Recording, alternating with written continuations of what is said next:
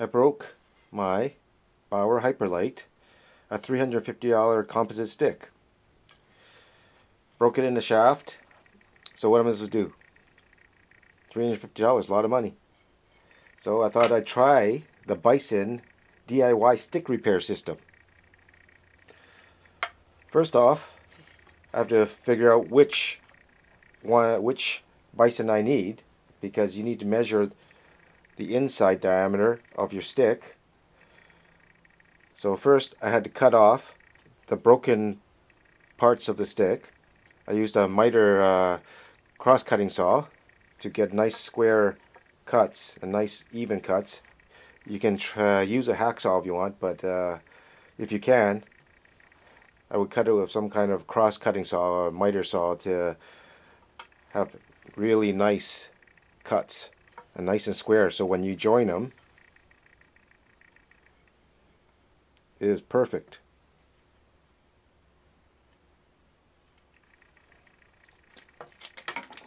So first of all you have to measure and I used the calipers to measure the inside dimensions of the shaft of the stick. As you can see it's like 27 mil by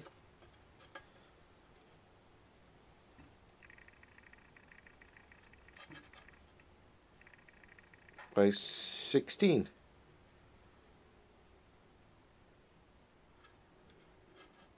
those are the closest numbers so the inside dimension is 16 by 27. So I ordered a Bison kit. 16 mil by 26 and a half. 26 and a half uh, seems to be the largest they have. Uh, would have been nice if uh, they had a 16 by 27, but they don't. So it comes with, it looks like, the composite repair shaft and a butt end because you'll probably be cutting off about an inch, one inch to two inches of uh, of shaft to uh, make the repair.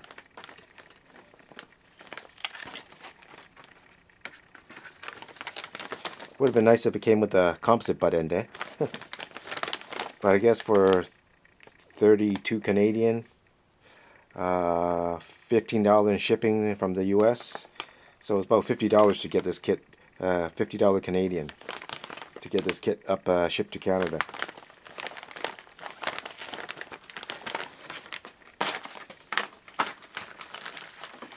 So it comes with instructions. As I said, the butt end,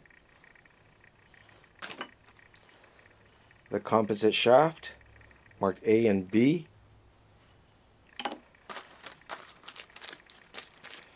and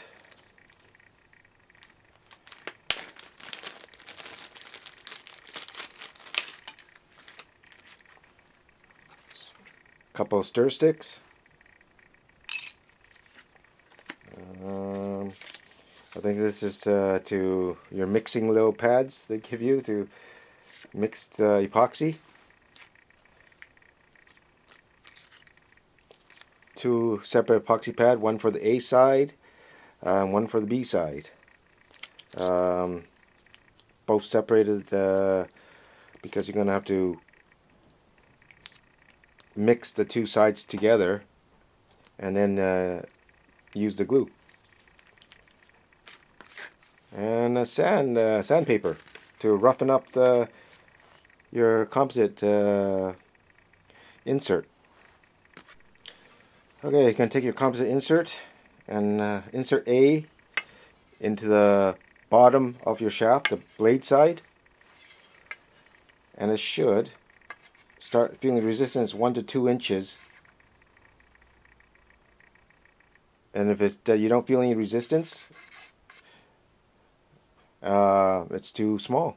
And they say to uh, email them uh, and uh, get the next size up or get the proper size.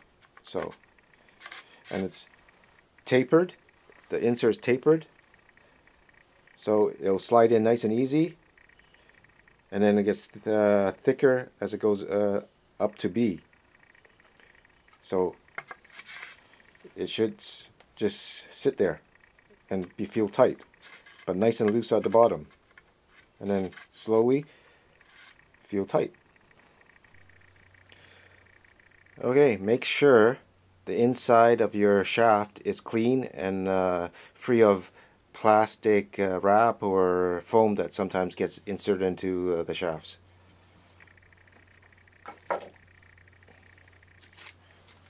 Lightly scuff the composite insert to have the epoxy bond better with the composite insert. The instructions also say to uh, use masking tape or some type of tape to tape halfway around the insert and at the end of the, your stick shaft so uh, when the epoxy glue uh, when you apply the epoxy glue some will uh, you know spread out escape from the insert so you can uh, clean it up easier so once it, before it gets hard, uh, the epoxy glue hardens, you can unwrap the tape. So next thing we're going to do is uh, mix. We're going to cut open the two sides and mix it in the mixing pad they provide. Well, here's some info on the epoxy glue. Um, says very high peel strength, flexible, tough, durable. It looks like it's made by Hardman.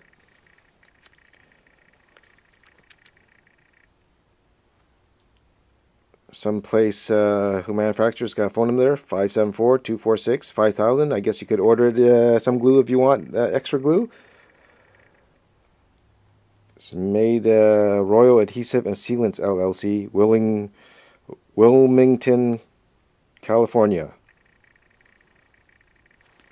So we're going to cut the glue open.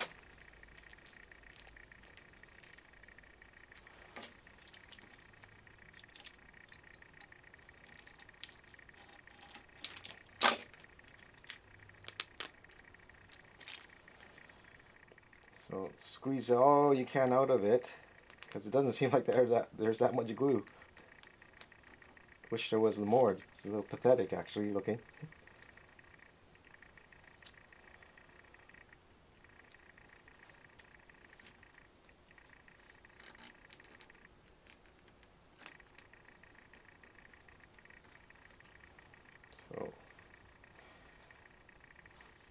So you got it. Now you got to mix it all up thoroughly.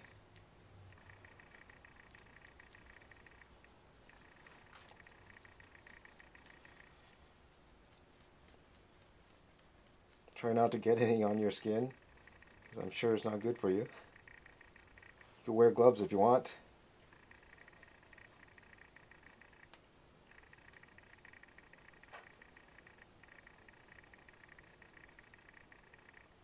Says uh, it takes 24 hours to fully cure, so it says to do the bottom half, uh, first half, and wait 24 hours before you do the second half.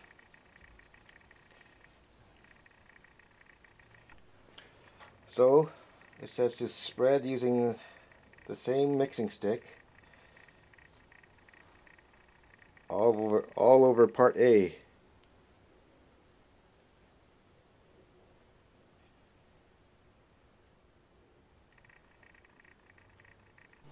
Okay, so once you've uh, spread all the stuff uh, onto the shaft, about three inches up, total sh shaft insert is uh, six inches, so go about halfway, three inches, and insert it into your stick shaft.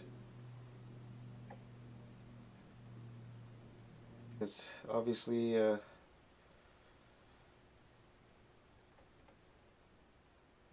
Things are going to squeeze out of there.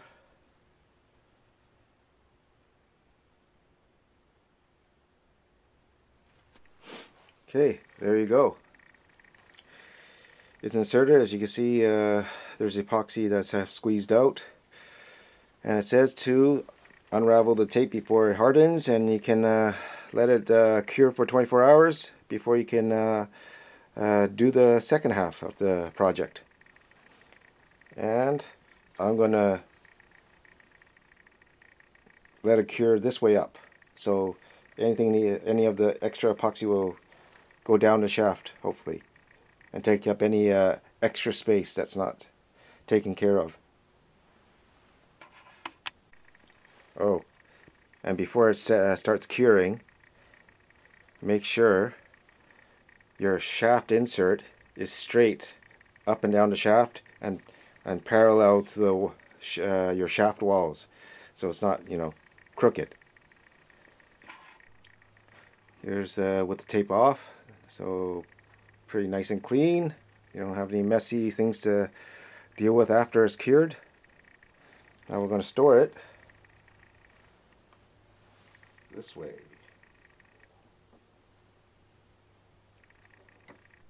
Hey, there you go. Going to let it sit for uh, 24 hours like that. And then come back and do the second part of uh, the stick repair. And uh, fix the stick. Hopefully it works good. We'll give you a review of it later on uh, when it's fully cured both sides. Stay tuned. Okay, it's been 24 hours. The first uh, epoxy glue on the bottom end the A side has uh, dried. I was curious about the dimensions uh, of their uh, carbon fiber insert, their composite insert. I ordered a 60 millimeter by 26 and a half millimeter. So let's see if how accurate they are. If you can see this. It reads 16.2 0.22 millimeters, so a little bit more.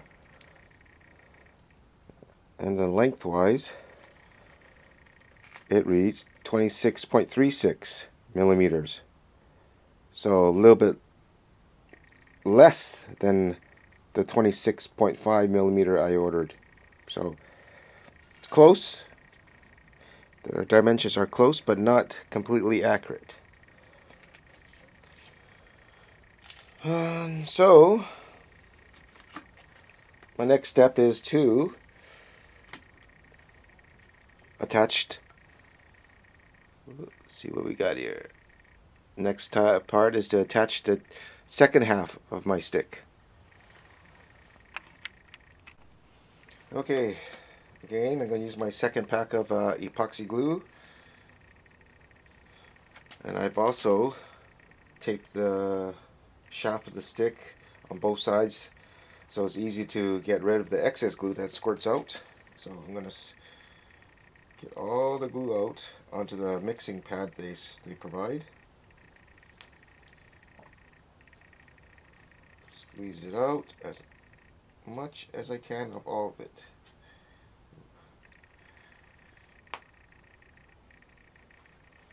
Take it and spread it all over the composite insert. Okay, take your upper end of your shaft. Make sure you got the front, your upper shaft and your low shaft uh, properly aligned, facing the correct way. So, the back end to the back end and the front end to the front end.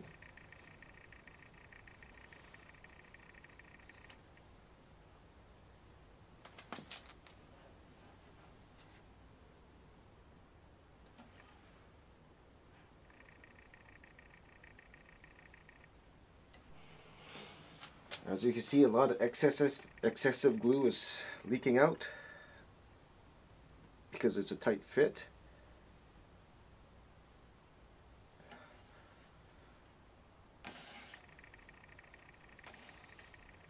And if it's too tight of a fit, you can, uh, they say you can uh, shave about half a millimeter of uh, material off to make it fit. So there you go. The two ends are combined.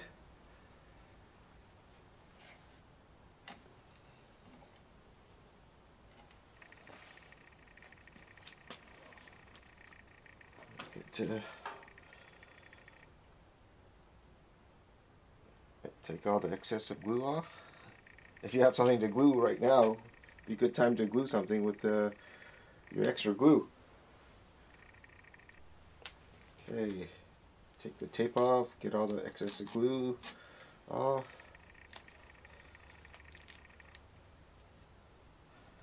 There you go.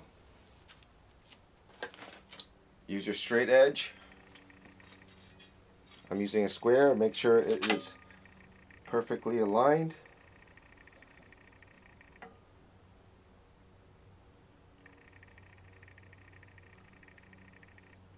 Which it is.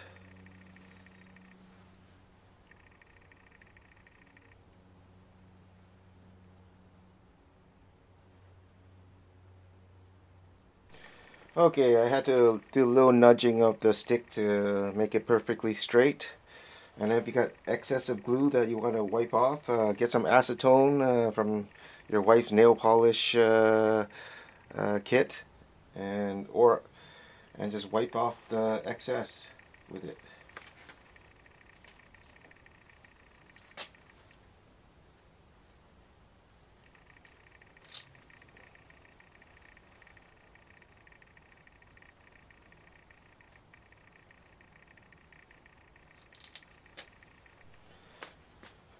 Okay, now it's all cleaned up.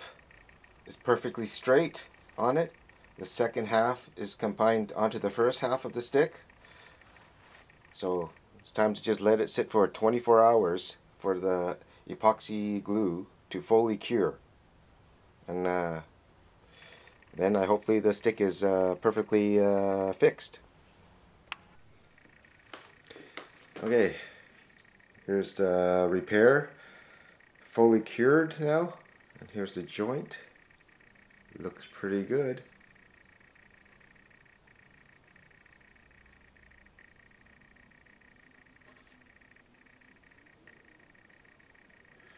I mean, you can feel a little bit of a rough edge. You can feel the joint, but it's pretty nice. I've lost only about an inch from the re repair site.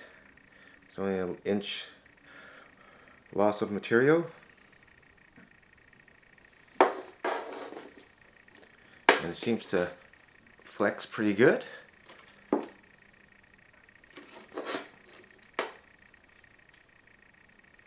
No creaking, no nothing. Feels good. Sounds good.